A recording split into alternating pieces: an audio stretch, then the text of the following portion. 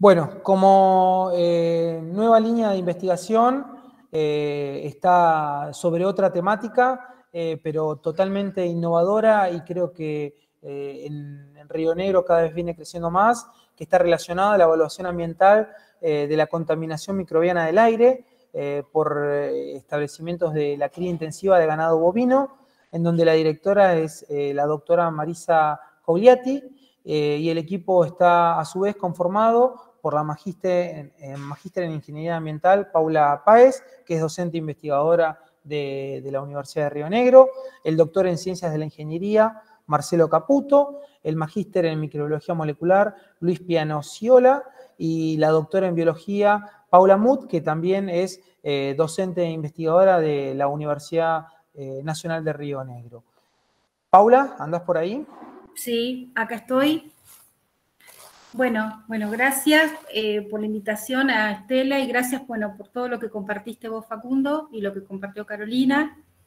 Eh, bueno, un poco comentarles, em, la idea de este proyecto es eh, evaluar la presencia de bioaerosoles en aire y, bueno, un poco compartirles que cuando estudiamos calidad de aire, lo que buscamos es evaluar la presencia de diferentes contaminantes y hay diferentes metodologías para evaluar a partir de monitoreo, modelado, y este estudio lo que permite es evaluar qué efectos tiene en la salud y en el ambiente, pero también para establecer políticas de calidad.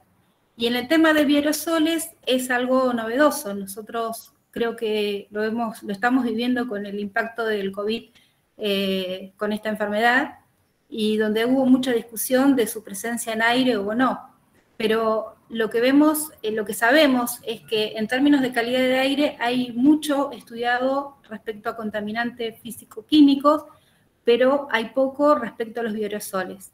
Por ahí si querés cambiar la filmina. Bueno, lo que buscamos es evaluar la presencia de, la bacteria Escherichia coli que está presente en la explotación de confinada e intensiva eh, de ganado bovino y también lo que buscamos evaluar es la presencia del patógeno de la E. coli, el O157, que es el agente que produce la enfermedad del síndrome urémico hemolítico. Esta enfermedad, según, eh, bueno, hay uno de, los uno de los investigadores que conforma el grupo, Luis Piazzola, ha hecho investigaciones respecto de la mayor incidencia de esta enfermedad en la zona patagónica y donde es, este investigador lo que nos manifiesta es que, bueno, hay mucho estudiado sobre la presencia de este patógeno en agua, pero no en aire. Y lo que se busca evaluar es la presencia y la, y la posibilidad de, que su transmisión o su dispersión en aire pueda generar la enfermedad. Eh, bueno, los aerosoles, que son partículas un poco de origen biológico que están presentes en el aire, pero que se unen, se adhieren a partículas o gotas. Y bueno, lo que se ha estudiado es que eh, hay un porcentaje de la presencia de material particulado, de material PM10, hay un porcentaje que es de origen biológico. Si me cambian la filmina.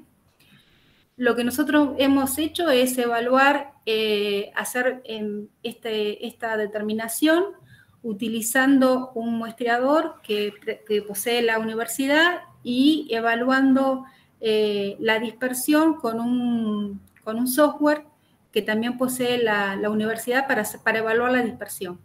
Nosotros el primer muestreo lo hicimos en un área de Cholechuel, en un field relativamente chico con 60 cabezas de ganado. Si me cambias la filmina. Y el segundo sitio de muestreo es en Neuquén, en una estancia que se denomina La Paisana, que tiene 600 cabezas de ganado. El primer objetivo es eh, poder eh, establecer cuáles son las condiciones eh, para establecer el muestreo. porque bueno, este, este muestreo lo que buscamos es evaluar la presencia, entonces tuvimos que diseñar cuáles son las condiciones para establecer este muestreo. Y para eso muestreamos en diferentes puntos de los fildot, en cada uno de los corrales y a balovento o a sotavento del fildot. También tomamos a diferentes distancias para evaluar también esta presencia. Y también hicimos una estimación de cuál es la emisión de estos soles para evaluar después la dispersión. Ahí en la foto, en imágenes, está, eh, la, el muestreador con los diferentes puntos de muestreo. Y lo que les mostramos en la siguiente filmina es eh, los resultados. Bueno, acá están los resultados de, en la, a la izquierda, están los resultados que encontramos de la presencia de esta bacteria en, Cholechuel, donde hicimos el primer muestreo que era para evaluar estas determinaciones, evaluar el tiempo que íbamos a hacer el muestreo. De este muestreo lo que vimos que em, tuvimos que, corregir los tiempos porque el recuento eh, o sea, en algunos corrales no era posible, entonces, bueno, pudimos diseñar para la paisana otro muestreo donde sí pudimos hacer un recuento con menor tiempo y, manteniendo otras características del muestreador. Eh, la siguiente filmina. Bueno, y ahí es el resultado de la modelación, eh, donde, bueno, evaluamos esta dispersión de estos, modelamos esta dispersión de los bioaerosoles y lo que evaluamos es la coincidencia entre eh, los resultados que hicimos en el modelado y los resultados que hicimos en los muestreos. Tiene un enfoque multidisciplinario, porque vemos que para estudiar la calidad de aire, eh, eh, no, o sea, es necesario, y para estudiar este, este contaminante, tuvimos que incorporar biólogos moleculares, microbiólogos, físicos, e ingenieros ambientales y, una doctora en ciencia de la atmósfera, porque bueno, es un tema complejo para evaluar esta, este estudio.